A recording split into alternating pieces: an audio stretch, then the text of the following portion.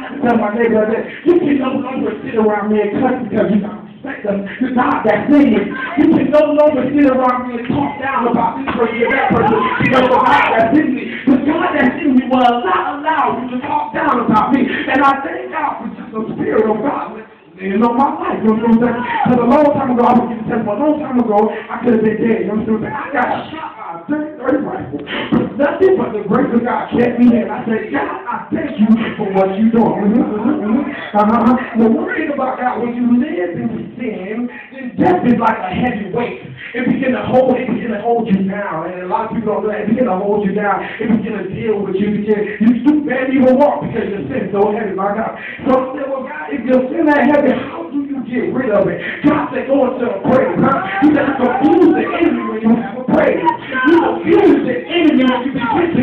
Praise. So only if you take your time and give me praise, only if you lay on your face, you don't got to be 30 minutes, it don't got to be 20 minutes, but God know how you feel on the inside. Just it, give him praise.